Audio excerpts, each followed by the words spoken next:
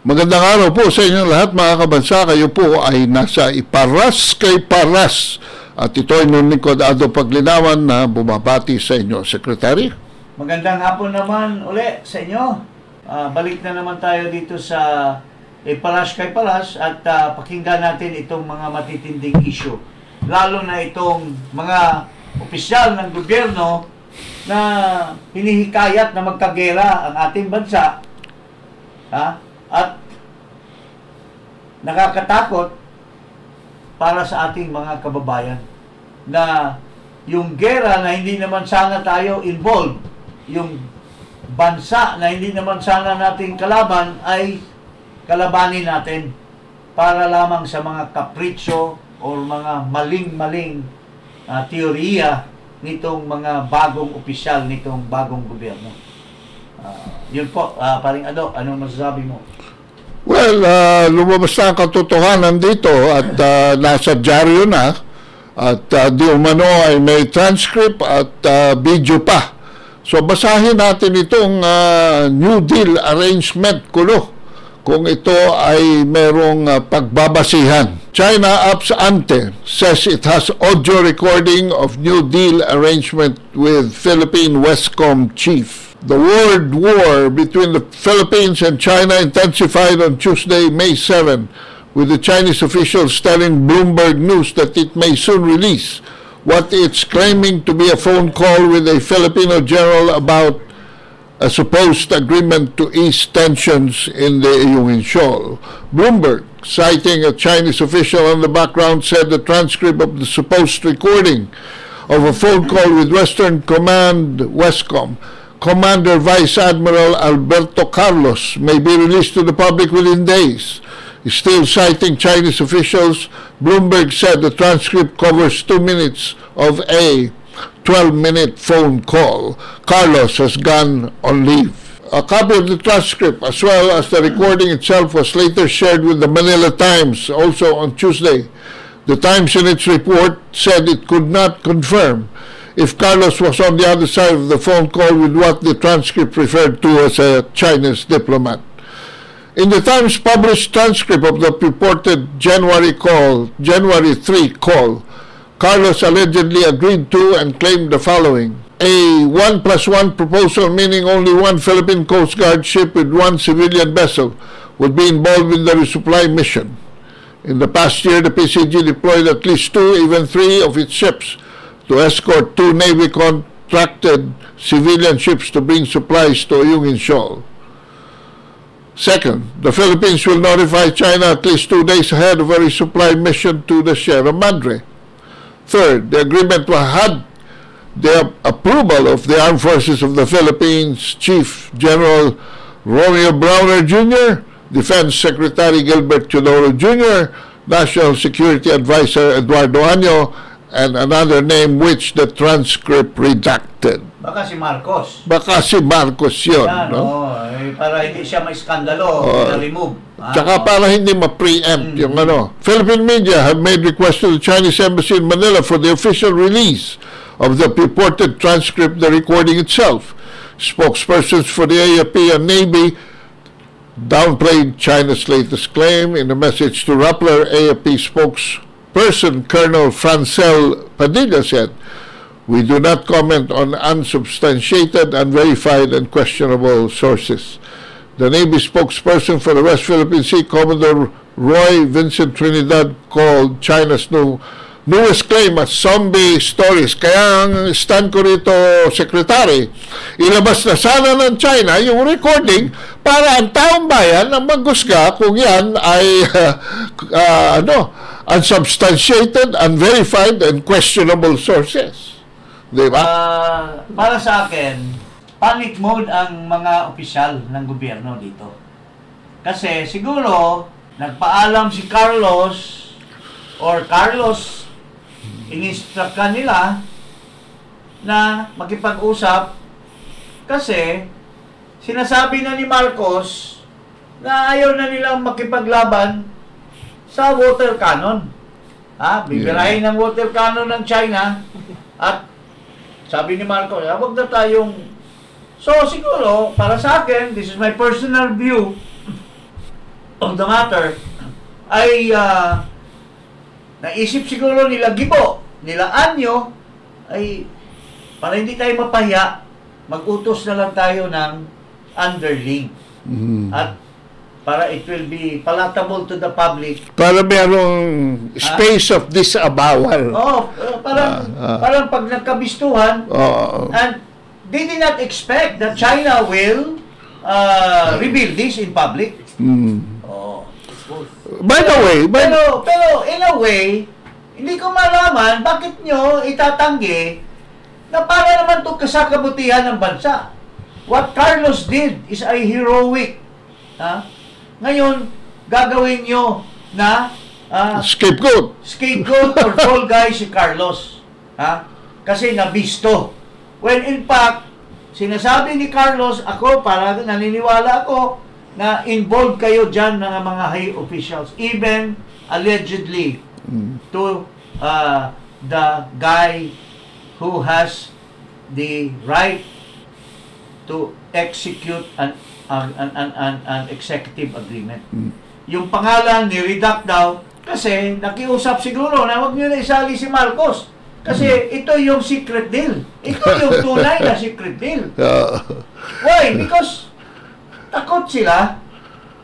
Dahil ang mga Pilipino nagdi-demand na na bakit tayo mga warmonger, bakit tayo Accountability. ah, ah, makipaggera. Kawawa transparency. ang mga Pilipino pagka nagkagera. So, ngayon umaatras sila. So, nakipag-backdoor. Oo. Ha? Nakipag-backdoor arrangement sila using ha, ah, na matino na general na si Carlos na medyo baka friendly friendly with the with the ah, Coast Guard also of China na magkaroon ng agreement which they will have deniability. Ha? Ilatag ko muna ng kaunti. Okay, sige ano. When uh, President Marcos was in Japan, he announced uh, the need for a paradigm shift. At pagbalik niya rito, tahimik lahat dahil uh, allegedly nagkaroon na naman ng opening ang DFA for a diplomatic uh, engagement. And in fact, sometime towards the late January, nag-schedule ang China at ang DFA ng isang 8 bilateral consultative mechanism. For the meantime, kailangan resupplyan yung ating mga tropa doon nitong Enero. Yes, yes. Ha? Enero. So, anong gagawin habang hindi pa nag-uusap? So, I am assuming here, and I think this is the most logical choice, na anong gagawin ko? Ako in charge ng operation sa ibaba. Eh, kailangan mag-resupply ako, hindi pa kayo nag-uusap. Yes. So, hingin muna ako na accommodation sa China para ma-resupply ko yung tropa ko doon. Otherwise, magugutom sila ron. Oh. And China obliged, ha? And, uh, ang nangyari kasi dito, after February, pagdating ng March, dinideny nila na may secret arrangement. Ito si Gibo at saka si Anyo. Eh, ah, pare, medyo may konting ano lang dyan. Because I I don't think Carlos did it on his own. Ah, even if he had uh, uh, in his heart the welfare of the Filipino, eh matino itong general na ito. I'm sure he cleared it with his superior. Yes, yes. Oo. Siya probably nakaisip niyan, pero He suggested. He, he told the he told them na sir eh hindi pa tapos yung uh, arrangement with the DFA and the Chinese uh, uh, government eh mag-supply na tayo eh baka i-water cannon na naman tayo makipag-usap muna tayo na itong ito muna yung deal na hindi muna tayo maglagay ng construction materials yan. Yan. Okay. So, therefore, ah, nagpaalam siya. Ngayon, ah, since ni-record ng China yung ah, Conversation. yung conversation at ngayon, nagmamalaki na naman ang Pilipinas, ay binisto na ngayon ng China yung ah, conversation. At all of them are now denying, mga kababayan. Nagsisinungaling na naman itong gobyerno na ito sa taong bayan. Ha? Oo. Ah, tapos gusto pa, ah, ewan ko itong kaibigan natin si Gibo, he betrayed uh, certain people that who love him so much before he will now betray General Carlos and I don't know who else he will betray in the future. Pero para sa akin, ah, eh, yung mga sinasabi niyang expel yung Chinese ah, person na nag-leak dito dahil anti, eh po, pwede ba? Para naman tayong hindi nakakaintindi na ang mga Chinese mayroon yang ano immunity. Yeah, Ha? diplomatic They are- immunity. The, the embassy here is a country by itself. Eh, paano mo yan uh, sampahan ng kaso? Ha? Even the cars of these diplomats are considered to be extensions of the Chinese Bakit uh, natin- territory. Bakit natin pa gagamitin yung mga ganong Leg- alibay? legality. oh. Ganong, ah, ganong palusot when in fact intelligent Filipino are aware ah, intelligent Filipinos are aware na si Carlos hindi gagalaw kung walang pahintulot sa inyo. Ngayon, naguhugas kayo ng kamay. Nakakahiya kayo ng mga opisyal ng ating bansa. At you want to make ka, ha? sabi siguro, oh, Carlos, is, eh, isibat ka muna. Huwag ka muna magdadaldal. Kasi baka, Baka- baka, ka ng totoo. Bakasyon ka muna. Bakasyon ka muna. Mm. O, kasi, it's so, Talagang hinahanap siya ng media eh. it's Para, so suspicious why a general newly promoted from ano from second ano two stars to three stars. to two star to three star will just disappear Oo. and and will not give any reason uh, why he is taking a leave of absence. A three-star admiral, vice admiral, will violate the chain of command? Imposible. Imposible. Not late in his career. Ah, Gibo, Anyo, Bronner, Kayo mga retired you have an obligation to divulge to the Filipino people your secret deal.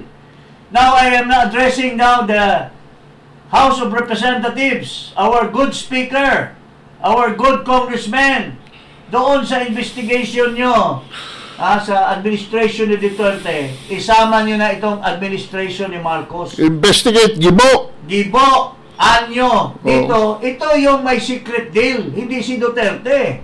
Ha? O, kita mo, tapos ngayon, ang gagawing full guy si General Carlos. Eh, matino na general yan. Ha? O. Eh, if, he can, if they can do that to to Carlos, they can do that to Browner. Kaya kayong mga military, mag-ingat kayo. Baka kayong Tayo, burburin. Mga military.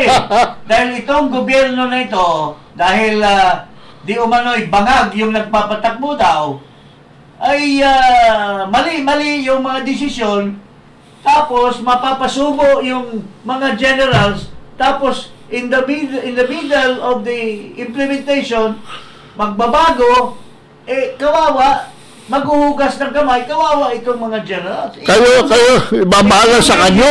Uh, Mr. Browner. Ha? Oh. Kaya mag-ingat ka, Browner. Baka mamaya, You're next. you will no longer be Browner. You'll be whiter or blacker. ha? Oh, ingat ka, sir. Alam mo, bago uh, naging presidente si Marcos, may mga usapan tayo sa telepono. Ikaw, si Canlas, si ah, ano eh, eh, alam mo naman yung mga ating mga pagkakaibigan noon ha oh, eh, wag Baka may, baka may hawak tayong recording. ah hindi na kasi kaibigan matino yan si Browner Oo. hindi na sa- at saka- napapasubo lang yan At saka wal- dahil ah, well maybe it's because binigyan siya ng accolade be, ah, being ah, the chief of staff eh nagpapa ano lang yan pero if push comes to shove I'm sure Browner will be for the Filipino people Ito kasi si ito Gibo. kasi, ang nangyari ngayon, this is a fight between the Filipino people and this kabulastugan ng gobyerno, mga kababayan. So, saan tayo? Ah, if there are three bald-headed people, doon tayo sa mga matino na mga kalbo. Diba? ha? Ano sabi ni Gibo? Ito. Ha? Oh, ito. Eh, pakinggan natin itong uh, Kal- kalbo na ito. response ni Gibo. Makakalbo na rin. Ah, hopefully. Oh, na. Oh.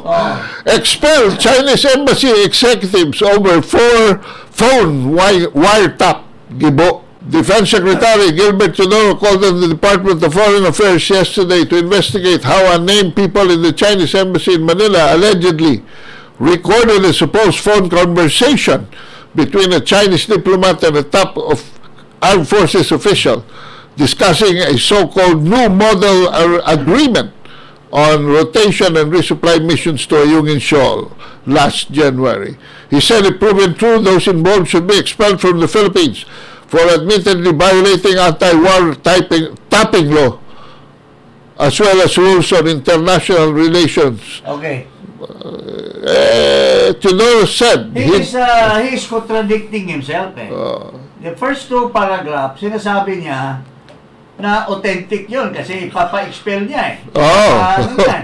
Tapos biglang kumambyo na doubts the authenticity. Alin ba dito ang ah, totoo dito?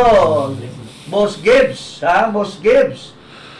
And, eh, ipapakulong mo ba? So, kung ipahilan mo ng kaso, you you presume that the tape is uh, authentic or uh, uh, genuine worth considering. or considering. Kasi, eh, siyempre, you have to prove na ah, nag-wiretap ito. So, there, there is uh, presumption na mayroon siyang wina-wiretap na genuine na conversation. Oh. Tapos biglang, eh, you don't believe that, ano, ano bang totoo? Sino bang mahal mo? Si Danding o si somebody else? Kaya ganun lang yan, pare Gibo. Ha? Eh, alam ko, ah, ganito, ganito yan eh. Pero, oh, so, ah, how, how would you, how would you, at saka bakit, bakit naman, bakit naman galit na galit sila, itong mga opisyal na ito, kung mayroong nakalit na conversation, Mm. eh, kawawa naman si Carlos na binigyan nyo ng allegedly go, go signal, tapos ngayon ipagpa, ipagpaliban mo yung ginawa niya para sa mga Pilipino. Ang pinagtataka ko rito, Secretary, eh, bar top notcher itong si Gibo. Hindi ba niya alam na ang embassy has diplomatic immunity and considered to be the territory of the state that it is representing? Anong violation of Philippine law pinagsasasabi mo dyan? Sus, Mario Josep Eh, naman. baka na, ano na, nahawa na sa kabangagan ng ah, kanyang mga amo. Ha? Well, Matino naman sana ito. Kasama ko ito matagal sa Kongreso eh. Ewan ko. Sinuportahan ko pa ito na tumakbong presidente maski alam ko from this beginning, kulela. Pero sige na lang. Dahil kay GMA, we fought for him. Pero anyway, sige na lang. Pero wag naman, wag mo na nyo mang, wag nyo naman, kayo dyan, Huwag nyo naman gawa ng kabulastugan ang ating bansa. Huwag nyo naman ipasubo ang ating bansa, ha? ang ating mga kababayan sa gera na wala namang katuturan. at huwag niyong paglaruan ang Armed Forces of the Philippines. Oo, eh, binababoy nyo ang mga opisyal eh. Yung si Carlos Matino yun, ngayon binababoy nyo. Ha? Pinapa, At- pinapatago nyo Oo. para wag magsabi ng totoo. O, eh, kayo ngayon ang, ang nagmamanipulate ng narrative. Kasi nabisto kayo, na pumayag kayo para maprotektahan ang image ng ating Pilipinas, hindi makan ma-water cannon uli, nakipag-deal kayo sa ilalim. Pero ang totoo, kasama kayo sa deal. Tapos ngayon, ay pare, Carlos, sibat ka muna pare kasi nabisto tayo. Naglabas ng China, inamin ng China na nagipagdaldalan tayo sa kanila. Oh, And it was Bongbong Marcos who was asking for another paradigm. oh. Kaya nga ito, Kaya nga, doon sa na, ano, redacted hindi na sinama yung pangalan Hindi niya. na sinama yung pangalan ni Marcos na iisa din, di umano, sa nag-approve nitong ano. Tapos siya nasabi na ngayon nila, oh, sabi ni Ricky Manalo, itong mahina na DFA, ano nito, dapat si Jess Chavez ang nilagay dyan eh. Mahina itong Manalo na ito eh. Ha? O eh, sabihin niya ngayon, Oh, only the only the president uh, has the power. Eh kasama nga yung presidente diyan eh. Kaya nga lang tinanggal lang yung pangalan eh. Oh.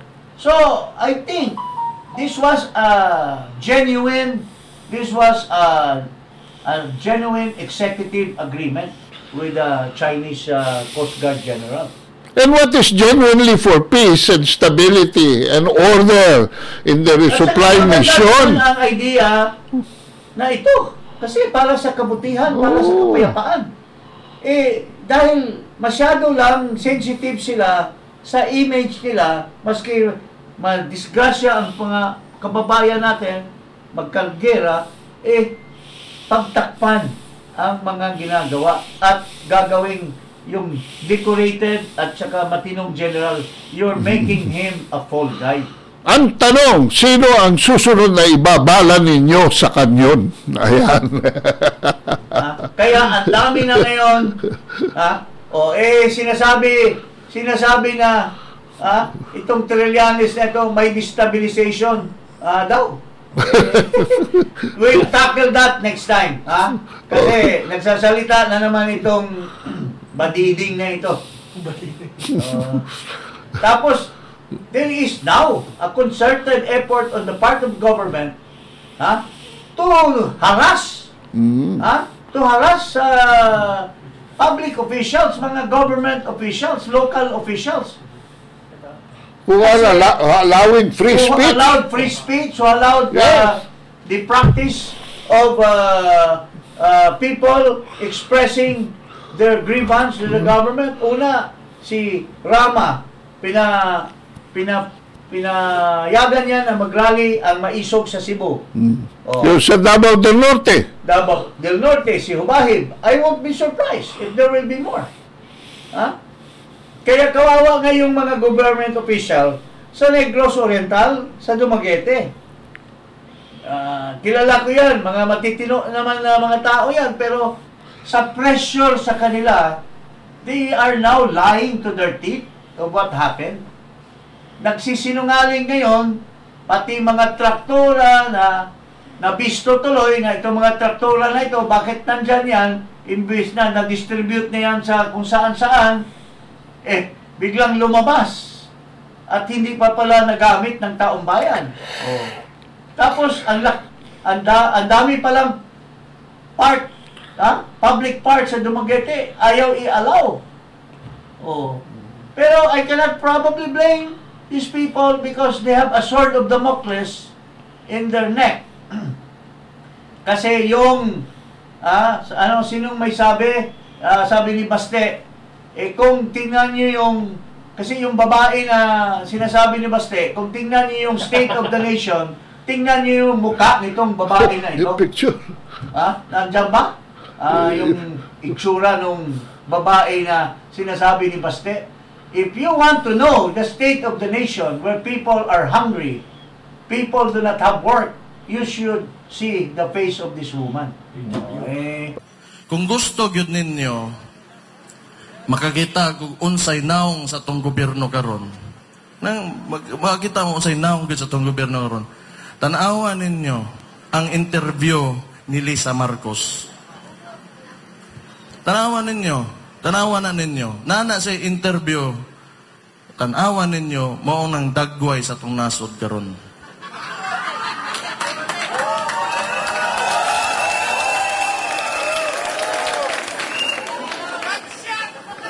Pero, di tanawa lang ninyo. Kamo na bahala maguna-huna. Di, man- di man ta gusto, mandaot og tao, maingon ta nga, mali o tama yung gingon. Tanawa lang ninyo. Kay basigwa mo nakakita, para aron makakita mo, unsay dagway gyud sa tong nasod garon. ah, okay, so, ah, Anyway, nakabalik tayo from Dumaguete after a great rally. Ha? Very successful. Ha? Kasi, ah, anong estimate mo na? Estimate ko 10 to 12,000. Ha? Walk-in. Ah, s- spontaneous na lang ang mga tao. nila si Duterte. Oh, Si Duterte. grabe. At uh, a lot of people were shouting, Marcos, uh, Resign. umalis ka na dyan. Alis dyan. Marcos, alis dyan.